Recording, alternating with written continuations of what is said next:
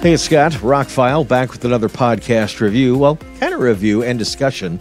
Going to be talking about uh, No Man's Sky. I played a recent expedition. It was the first time for me, and I want to talk about it.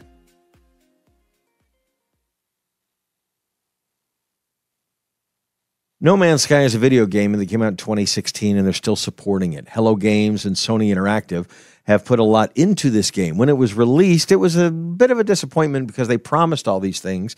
But now, in 2023, moving into 2024, the game has not only uh, met all of its expectations, but it has surpassed them.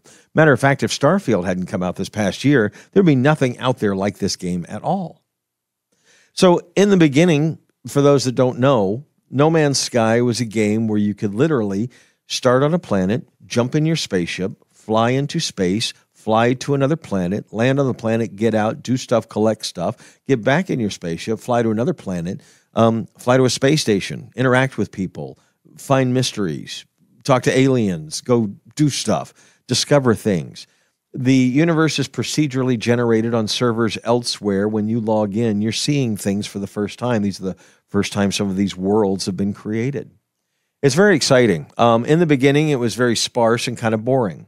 But as they added the ability to make bases, as they added the ability to have animal companions, uh, to customize ships, to have freighters, now you can do all sorts of stuff. Pretty much anything you want to do in a space game, you can do in No Man's Sky. So they've started having these expeditions. Now, a lot of games that have an online component have done these limited run they call them seasons, they'll call them expeditions, they'll call them whatever. Um, and they're limited timed events that you can get specialty items in.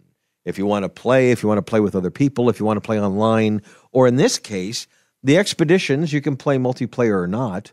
Um, but basically, you follow their rules, start a new game. You don't get to carry all the stuff. Like the longer you play a game like No Man's Sky, you have multiple ships, you have a freighter, you have a base, you have all sorts of stuff, right?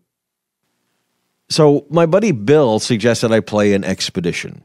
Um, it was a time thing; it was only going to be available for a week over the holidays. I had not played the game in a while. Um, I booted it up when I got my PS5 a few months ago, and it looks great.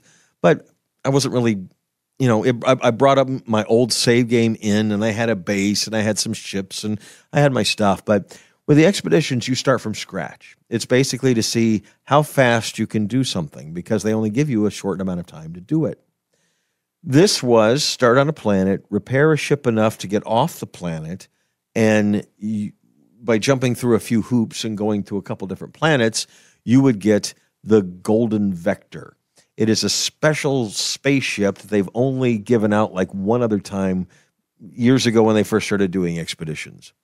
Um, if you can complete all the tasks, you will get one of these ships to be. It'll be yours. You can customize it. You can do whatever. So my buddy really wanted the ship, and he was talking about it. He said, "This is something they've only done like once, and it was I never got a chance to do it, and you can't get this ship any other way, but you have to complete this expedition."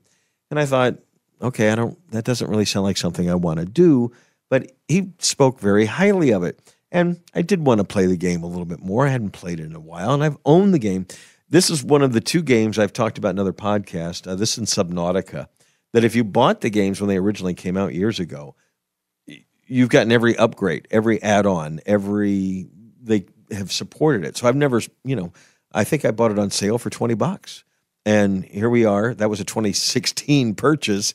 Here in 2023, I sunk three full days into this game. Took me about 13, 14 hours total. So I didn't play all day and all night, but over three days, that's, you know, four hours a day plus. Um, so you start on a planet. You have to jump through some pretty serious hoops. Uh, there's some weird things you have to get. There's some weird things you have to build, some weird things you have to repair. But at the end of three days, I did it. And I got to say, when I look at this golden vector, it literally is a golden ship until you start customizing it. It's, it looks like it's made out of gold. The engines, everything. It, it's beautiful. It's fast. It's powerful. It's everything you want in a spaceship. Uh, the first time I went up against some space pirates, I hadn't done anything to customize it, and I just wiped up with them. I mean, I do. It's not even funny. Um, so I love the ship, and it's wonderful. And now I'm I'm playing the game more.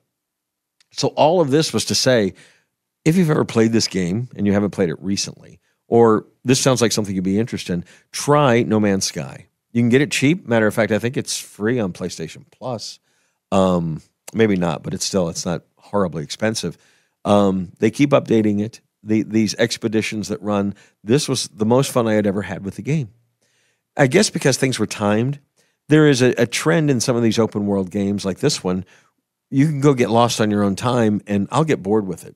Like I'll go out in some corner of the universe trying to find more gold or more platinum or more some special thing to to make my spaceship better. Um, and I'll just kind of get lost in doing that and building a base and in my own corner of the world, not following the storyline, not following the mystery, just kind of just hanging out in this weird online universe. And then I'll lose interest for a while and then I'll come back. Um, but this, with some of these types of expeditions, um, Diablo does these seasons and things. I've played some of those and I get it. I like getting uh, loot that you can't get any other time, and especially if it's going to make playing the game better. But this was a little bit different. This was like um, a crash course in playing the game as quickly as possible, doing all this stuff, unlike timed missions. You you had to get all this done within a week, and I've played a lot over the years, but I'm not exactly an expert of it. Some of it was pretty hard for me. But again, the feeling of accomplishment, three days, and you get this ship, it's like, wow. Really, my buddy plays Starfield a lot. It really makes me want to play Starfield because you can literally build your spaceships from scratch in that game. But now I have a giant cruiser, my freighter. Um, I keep my ships on it. I'm customizing that.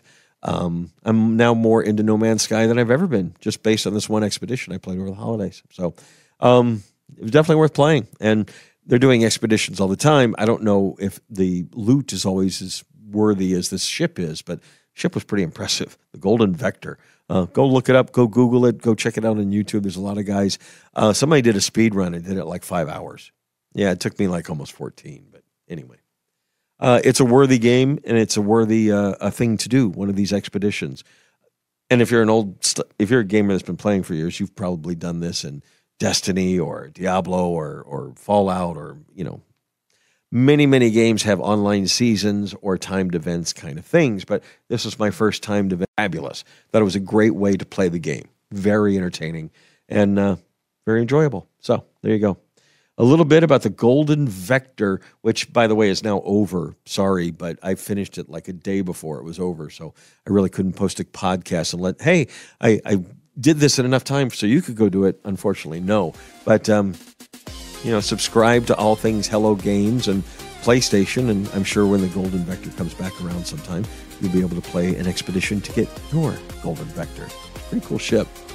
I'm Scott. I'm Rockfile. I'm a bit of a nerd. Thanks for listening to a podcast and have a spectacular day.